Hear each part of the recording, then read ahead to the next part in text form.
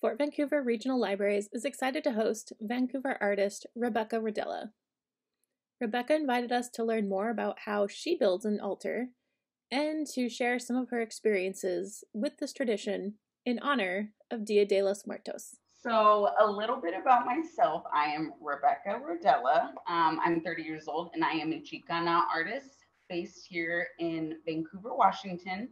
And I am also a tattoo artist um, based out of Southeast Portland. And so, um, a lot of my work is based off of uh, my culture, especially my paintings. Um, but I also tie that in with the work that I do with tattooing.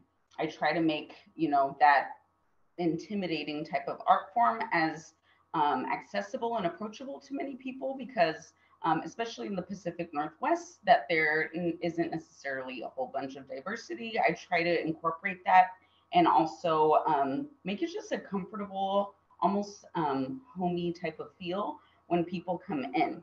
And then with my paintings, as I mentioned, it a lot of it has a bunch of cultural ties.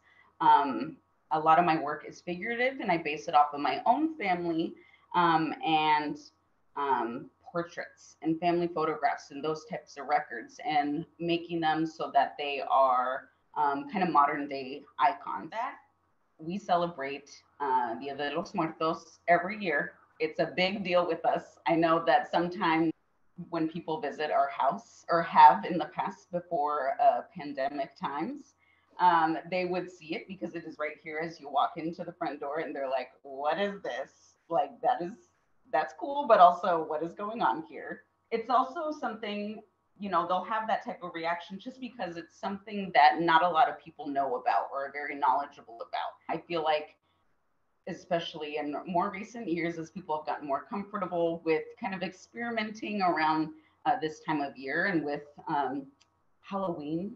Uh, they have, you know, only seen little bits and pieces, like little kitschy things. The movie Coco definitely brought it to light.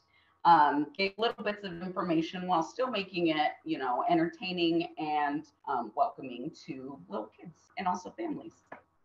I will be doing a setup for an altar which has many different components. A lot of it is um, there are many layers of meaning behind every single little thing, even when it comes to like certain colors or the little uh, symbols or different things that you set on your altar. Everything is customizable, which is great. No two different houses are going to have the exact same thing. A little bit of background for Dia de los Muertos. It was started in the 1500s by the Aztecs that really wanted to pay homage and honor um, those um, loved ones that have just that had died.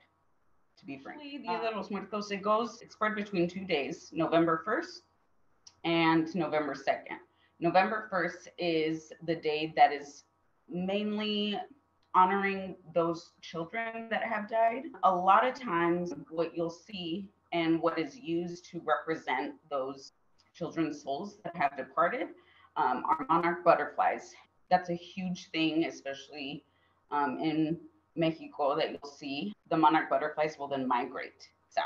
And that basically represents the souls passing through the world. Then on November 2nd, um, it's an even bigger deal and a huge thing that I want to emphasize is that Dia de los Muertos, it's a scary thing. It's not meant to be sad, although, you know, it is sad, you know, when um, a loved one has departed and is no longer with us. But it is really a huge emphasis on a celebration of life. That everything that you put on the altar has meaning and represents um, some type of element in the world and everything is sacred. Let's get started. This is just like a basic little foundation for an altar. We have our sarape just, you know, to have a little, add more color to it and bring emphasis and light to the um, ofrendas, which are offerings that you place on an altar uh, for your departed loved ones.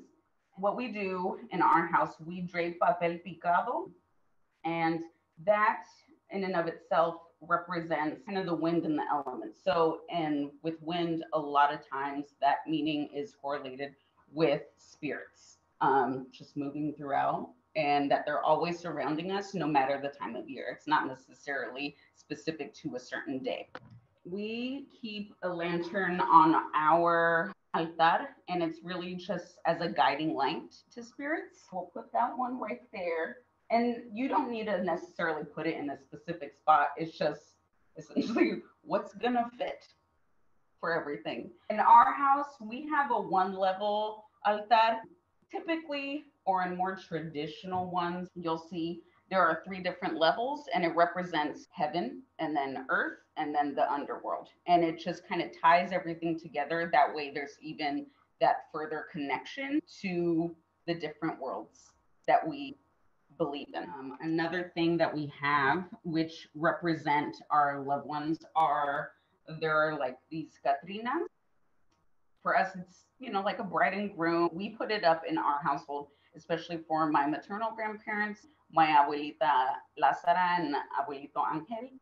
Yeah, it's just another form of symbolism of also having something that's tangible beyond a photo. So we put these up here, and then we have another extra as well because we like doing everything big. The next thing are velas or candles. We have different ones that we have that some of my family members they just throughout their life they would always talk about a lot and so we try to pick ones that are also kind of you know specific to what they lived like and also um, just kind of things that you know our our big brown uh, devout catholic family um, have just been like really committed to or really honored. We have a um, guardian angel and then two different versions of it.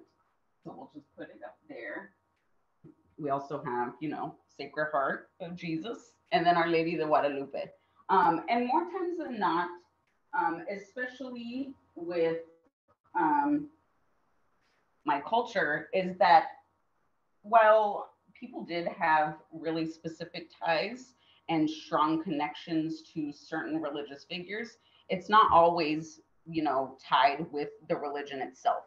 Um, I myself, I'm not religious, but um, I just like the significance and the power that it has, and it's so intertwined with our culture.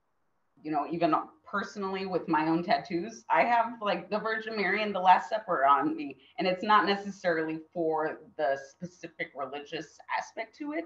Um, it's just so it's another form of like just encapsulating yourself and just like fully surrounding yourself in the culture. Got one last one. Next are photos. I have in our house are or my Tio Roger who passed away and my Tia Fina, and we put them up on either side um, by the guardian angels and another vela, my grandparents as well. And so um, just because they both were really into like the Sacred Heart and certain and the Virgen de Guadalupe, we place them specifically by those areas. You want to really place certain things specifically in relation to the photos, um, just so that it is another offering and it's just, you know, really tying them to something that is keeping them alive and their spirit alive. A huge thing, especially with photos, is keeping their appearance visible and having that type of visibility it's keeping their spirits alive versus you don't want to not show somebody um, and just have random little um, you know little knickknacks and whatnot um, you want to be able to see them and um, remember them for how they were different ofrendas and this is for um, this is where you do get specific according to who you are honoring. And this could be food, different things that they like to do. With my Tio Roger, into like gardening and fishing. So we have a little hat specific for him. And so it's like also besides food and that type of offering, hobbies. Um, he also you know, would always be chewing gum and had a toothpick in his mouth. So we definitely got to put that up there for him as well. Then my Tia Fina, she loved black licorice. she definitely had that alternate self. And then she was, she would make tamales around the new year. So that was another thing that we always had to get to experience and celebrate together. So definitely keeping in touch with hobbies and also their favorite uh, foods as well. So that way it's like you're having your own version of like a spirit meal with them. And lastly, for her, she loved herself some good box wine. So all reliable right there by her. And then other things for my grandparents, we have a basket. Um, this one, just to make sure that it doesn't go bad immediately, uh, we have like um, these preserved pan dulces, and that is a huge part of Day of the Dead or Dia de los Muertos because, especially pan de muerto, it is another way to further tie yourself with your relatives, and it's something like that we all also eat, and it's something that you, um, you know, with a little bit of cafecito, you dip it in, you you enjoy it. It's another version of a meal to celebrate and have with them and it's also representative of you know the bread of life. As well. Bugles for my grandpa. He loved those. And then cards and dominoes because he was an avid um, poker player and domino player as um, well. Just to bring more light to the altar, we add more candles that we light um, eventually. So just as a guiding light for the spirits to also go on to the spirit world as well. And that's a huge thing also um, with light. It's just another layer of meaning and intention when um, setting up the altar. And something that I did for ours, um, because I'm an artist, of course, I had to put my own little spin on it. So I decorated a skull it's just another version of bringing light to the dead and it also is just representative of those loved ones that have passed on. Color is a huge part of the holiday for us.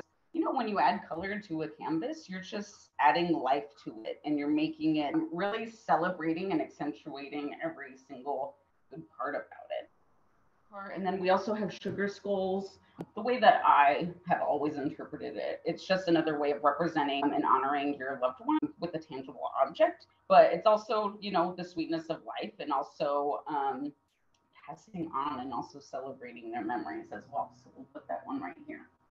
Other things that um, can be incorporated into an altar are marigolds. Those have the specific meaning as far as um, in our huge with the holiday, that their strong scent would help to guide those that have departed onto the afterlife.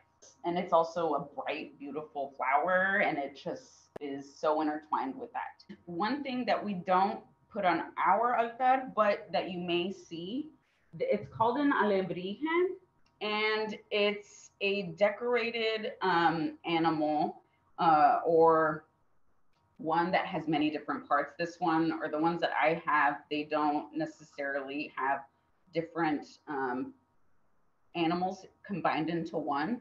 Um, more times than not, you'll see like dragon wings, a eagle head, and then you know like a dog's body. So it's kind of put all together. And these are also a huge part of the holiday, and that a lot of people got to be um, exposed to and see if y'all saw the Coco movie.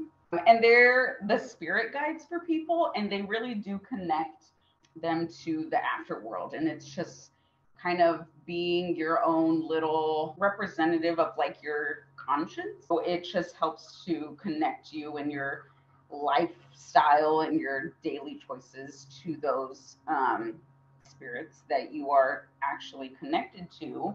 Um, and help just kind of guiding you throughout each day. So sometimes you will see this. We don't usually put it in ours, but um, I have them in my room. I have a whole bunch of them, and it's another way to just you know tie yourself on a daily basis or connect yourself um, to those loved ones as well.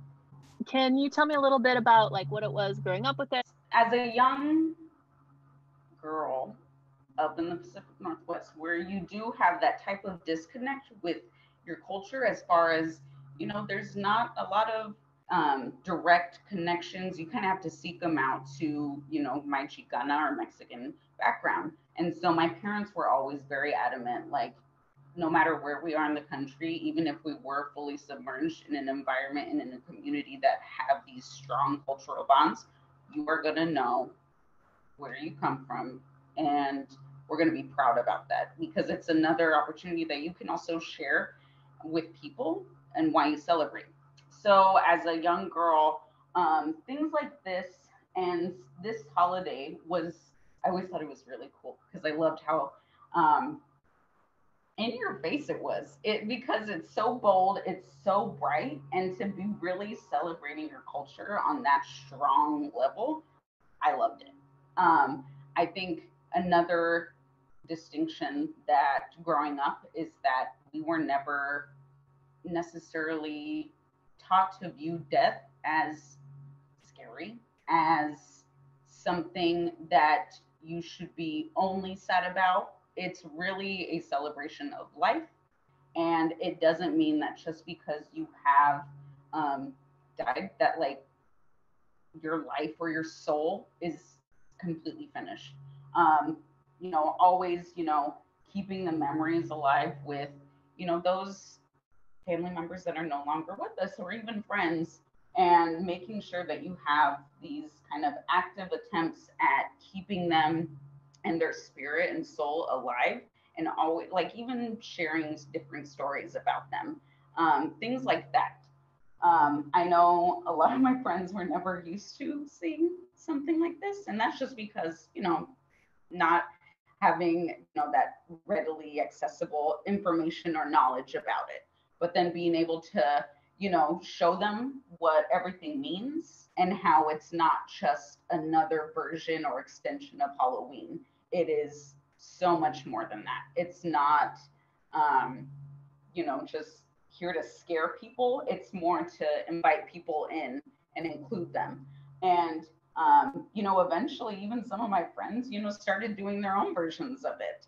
Um, and that is completely disregarding their own cultural identity. It's just like, have a little thing set up here or helping to also kind of guide them and see um, death and also people's spirits in a very different way that my culture and La Raza has always been like, this is something so natural, and how to also reach out to people and make it seem that it's not completely sad when somebody dies because you still have these active memories of them. And there are these different ways that you can still keep them alive and with you, um, regardless of where you're at in life. Um, and that's even, you know, with the alebrije, how that's also such a huge symbol um, with the cultures, just because it's like your own version, your non non-religious specific version of a guardian angel. I guess that's the best way I could essentially break it down and describe it. You know, how do you decide what you're going to put on your altar? Um, with us, we have definitely tried to put as many of them up and I think, um, you know, with my parents, and it's nothing personal, obviously, because we all have many um, family members, or a majority of us, um, who have died and who have passed on. And it's not because um, we prefer one or, over the other. I think in our household, it was more people that we really had these strong bonds and connections with um, that we, you know, when they did die, I mean, it, it was like a what we call a golpe de pecho. It's like one of those like deeply ones that is just like, oof, man. But um, yeah, I think with my family, it was definitely one of those that it was people that we got to regularly interact with and that we had an abundance of memories with and we had those really strong connections and ties with. Um, that's how we decide, or I feel like that's a, a strange word to, to do because it's like you're picking members of a team, but it's just like, I guess that's how we kind of narrow it down and hone in. on who we have honored. Um, but that's also why, you know, there's these general um, symbols as well that could encapsulate and also include um, different family members that we may not have so many pictures of, or we may not have known that many specific parts of their life um, as well. So just like when we say like that's just a generic um, symbol and item to include. Um, that's pretty much a universal thing that is included in um, an altar. And then even, um, you know, our little version of like a tamal um, as well, so that it's just open to other people as well um, to share a meal and celebrate with as well. So while things are meant to be super specific and intentional, there's such a broad, um, open ended meaning to everything that it does help to include every single person as well. So if you have um, multiple family members building altars in your own homes, um, mm-hmm. Do you do the same people? Do you do different people? In my household, we only have one, one altar. Um, we do have like different things here and there for people, but I feel like um, just to make sure that all of the like spiritual focus is in one um, condensed location that everybody could gather around versus it being like a more disconnected or separate holiday for everybody. Um, we have one for ourselves. Um, but I know that in my family, my sisters also have their own versions of their altares. Like my sister Catherine, or we call her Celeste. Um, her godfather was my Tio Roger, and so she definitely pays homage to him in her own specific way, however, she was connected to him, and whatever symbols that remind her the most of him as well. And then the same with my other sister, Amanda. Um, her godmother was my um, Tia Fina. And so she also has certain things that are specific to her relationship and how she was able to get to know her as well on her own version of it. And, you know, the different altars and ofrendas, um, since there is such a broad way that people can interpret it and that they can um, essentially like execute the setup, um, it's definitely something personal to you I mean, these are just general examples of how, like, we most um, got to remember and know um, our family members. Um, however, people's personal relationship was to uh, any given loved one, they would set up things that are very specific to him. Um, so, for all I know, it's like my grandparents could have liked golf and you would have something up there. But that would also depend on if I had known that part or if that had been something that say me and my grandpa or my grandma that we got to bond over. That would be something that I would then include in that. So for people who are outside this culture, um, what would you like them to know or like how can somebody who's outside of the culture respectfully observe Dia de los Muertos? If you're able to set up your own altar, um, doing things that are specific to yourself and your own, own identity, and also to those people that um, have lost, and keeping it as neutral as possible. You walk into certain stores and you know that it isn't necessarily run by somebody who shares the um, cultural identity to the holiday. It's almost off putting and how it's been now kind of pushed more towards the Hallow Halloweeny side of how people will either paint their faces or use it more as a costume rather than as something that is truly reverent to us. You know, even with my friends that aren't um, they're not you know brown brown girls like me or brown people like me they um, they don't go as deep in like they won't put a papel picado because they also while i have provided them with you know a decent amount of knowledge about it they're not going to take it upon themselves to also absorb that uh, because they truly personally cannot connect with that specific symbolism, or also like with the alebrije. Um, there are certain things that I feel like people are able to just kind of like filter for their own lives um, and also see like what is appropriate. And obviously, like if you're not comfortable with like, you know, putting up a painted skull, you definitely don't have to. it's just something that um, we were always so used to seeing as well. And it's so intertwined with the holiday for us. That is why we include certain things. Um, but other things, you know, just like, you know, candles um, that aren't specific to anybody or any one culture, you can definitely incorporate things like that. The main emphasis, I guess you could say, is to really put the focus on your family members or your loved ones and not worrying about all of these different super, super minute details that are specific to the culture. And that's what I definitely wanted to try to make accessible for other people to see that it is so customizable, but it doesn't have to be appropriative. That's just that's a huge thing. This is just what we specifically do for us, and these are the uh, significance behind each symbolism. But I definitely understand, you know, that people don't um, have that same bond with certain things and symbols like we do, and that is completely fine. I think the thing that, and I hear this from other people too, is that you do see it like Dia de los Muertos right next to Halloween stuff. And, yeah. you know, not growing up with those traditions and things, it can be really easy to just conflate the two, which they're obviously they're very separate things. Right? Oh, oh yeah, absolutely. things change over the century.